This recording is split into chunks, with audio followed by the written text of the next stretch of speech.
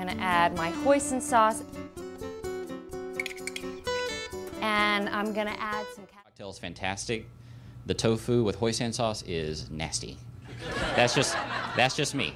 But yeah, it's actually they've got really good food. The mushrooms in the hoisin sauce, and the bear felt something happening inside him. Sauce, sesame, a little bit of green onion, a little bit of hoisin sauce goes a long way. Give it a stir it around. Sauces and dressing. Ginger, sriracha, of course. We've got some hoisin sauce. Okay. I've got a lot of frozen fruit. I Wait, love-